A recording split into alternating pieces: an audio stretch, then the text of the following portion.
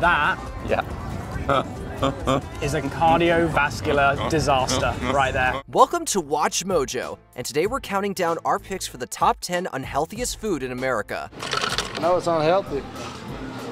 I just like it. I don't like water. For this list, we'll be looking at popular American foods and drinks that are chock full of enough sodium, sugar, and preservatives to choke a horse. And that's why we love them so much. Did we scarf down any other unhealthy foods instead of adding them to the list? Let us know in the comments below. Number 10. Pop-Tarts. Pop-Tarts are a popular, quick option for a breakfast on the go. You can eat them straight out of the package or pop them in the toaster for a hit of ooey gooey sugary goodness. Mmm, Pop Tarts toaster pastries. Saving that other one for later? No, just pre-gaming. Nice. But Pop Tarts are as unhealthy as they are deliciously convenient. They are full of processed soybean oil and flour. Every package of Pop Tarts contains 76 grams of carbs, and not the good kind. I know the answer. It doesn't even melt a little bit. It gets harder. it's disgusting, but it's, it's perfect. They use multiple types of sugar.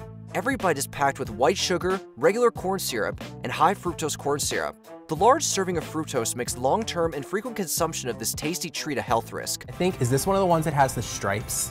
Yeah, when you Oh, break it oh, open, it heck has the stripes of like the chocolate ganache and then the marshmallow cream. This is fancy. I I'm do also- not like this one. There's just too much going on. High fructose diets have been linked to increased risk of diabetes and heart disease. Number 9. Cheese fries. Cheese fries are arguably one of the most delicious dishes of the USA and Canada. Holy. From poutine to chili cheese fries, the iterations of this dish are endless and always tasty. Unfortunately, it should come as no surprise that cheese fries are incredibly bad for you. It's a dish that combines two inherently unhealthy foods.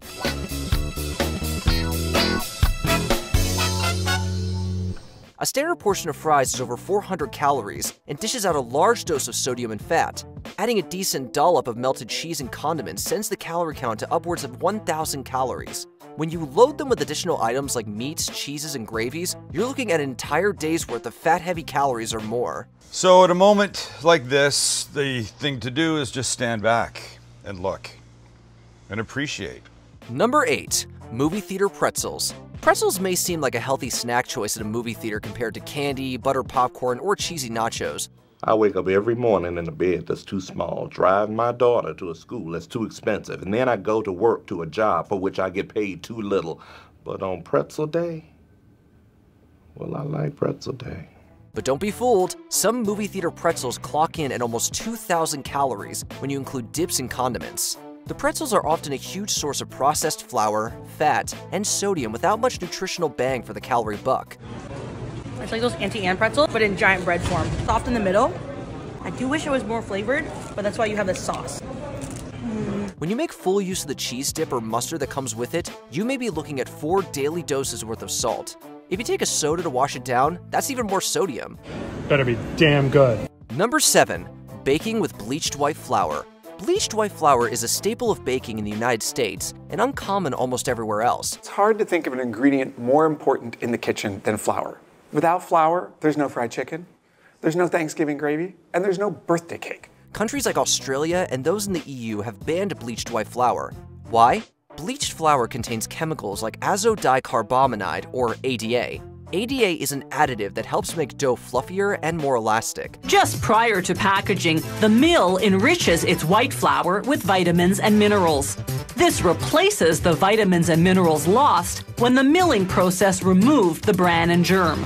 Unfortunately, there have been studies that show that ADA and other similar bleached flour additives chemically break down under the high heat of baking. It turns into urethane, which is a carcinogen. Who knew that a loaf of bread could help give you cancer? So here are our loaves. They're well colored, they rose well in the oven. Number 6. Hot dogs.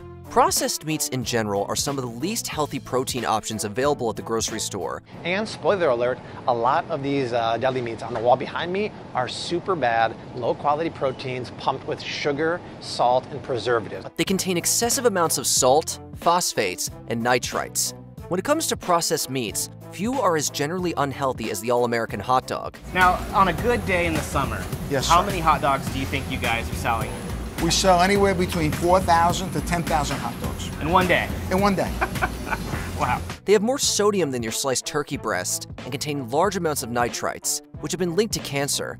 The WHO has claimed that one hot dog's worth of processed meat a day increases the human's risk of colon cancer by 18%. And the occasional hot dog or salami is not going to make a big impact, but we're talking about daily use of processed meats. It did find a significant increased risk of colorectal cancer, which is the third leading cause of cancer death in this country. The phosphates in hot dogs are equally dangerous. Studies have linked a phosphate heavy diet to increased rates of both heart and kidney disease. Number 5. Coffee creamer. You may want to think about how you lighten your coffee in the future. Today, we're talking coffee creamers. I had no idea before researching this video just how big and honestly, how kind of scary this world is. While coffee may have various health benefits, what goes into coffee is likely bad for you. Coffee creamers in particular may not be worth the added flavor.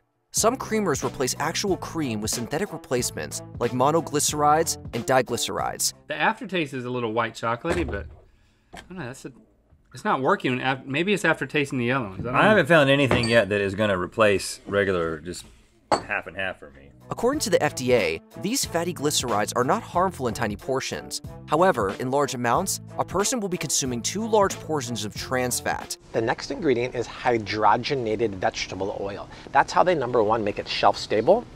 But number two, it makes it rich and creamy. Doctors have marked trans fat as responsible for risks in cholesterol and increased risk of cardiovascular disease. Number 4. Sugar cereals.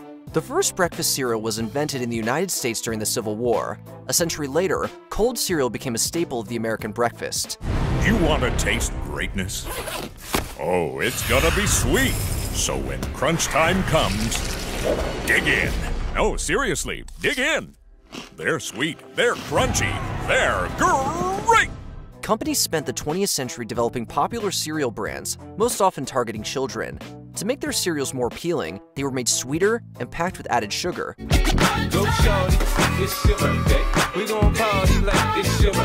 They also contain preservatives to extend shelf life, as well as food coloring and artificial flavors. According to one study published in the Journal of American Dietetic Association, children's cereals contained more carbs, sugar, and salt than adult cereals. Yikes! He's as big as the taste of my Post Fruity Pebble cereal, part of a good breakfast. Number 3. Frozen meals slash TV dinners. Frozen TV dinners are one of the early artifacts of American grind culture. The TV dinner of the 1950s and 60s has changed a lot in the decades since. Today, frozen foods are a booming category in supermarkets. Are you too tired to cook after a long day at work? Have no fear, frozen meals allow a tired but hungry worker to pop a tray in the oven or microwave. In just a few minutes, you have a full meal, hot and ready to eat. Be able to not only feed yourself, but feed your family something that it doesn't take two hours to cook, to cook. That is a huge factor as well that's driving frozen frozen food sales. Unfortunately, liquid nitrogen is not the only way frozen food manufacturers extend their product's shelf life. TV dinners are packed with preservatives and usually contain excess sodium and partially hydrogenated vegetable oil. That's a double whammy for heart disease. Unfortunately, all those additives tend to leach nutrients out of food, making frozen foods less nutritious than their fresh counterparts. That's a that's a big deal. That's a fiasco. That's a big, big deal. Number 2. Fried foods. It's something of a truism for some Americans that you can fry just about anything. Dessert foods like Oreos are fried in county fairs across America. There's an Oreo in there? Let's do this. Vegetables like onions are turned into deep fried onion rings in virtually every American style restaurant. Oh, those look fantastic. We'll serve some of that up. A couple rings. Let me dip one of these. Mmm. Beer battered onion rings with this dip, out of bounds. It's no surprise, however, that these deep fried foods land at number two in our list. Fried foods inject huge quantities of trans fat into the body, clogging arteries with plaque and leading to a plethora of health problems. A diet heavy in fried food can lead to obesity, heart disease, diabetes, and strokes later in life. Seasoning fried foods with extra salt or powdered sugar just adds to the risk. Oh man, you start to get the deep fried sweats. Oh yeah. Before we continue, be sure to subscribe to our channel and ring the bell to get notified about our latest videos. You have the option to be notified for occasional videos or all of them. If you're on your phone, make sure you go into your settings and switch on notifications. Number 1. Sugar Sweetened Soda. Sugar soda has virtually no nutritional value whatsoever, and yet it is a staple of the American diet, especially in children.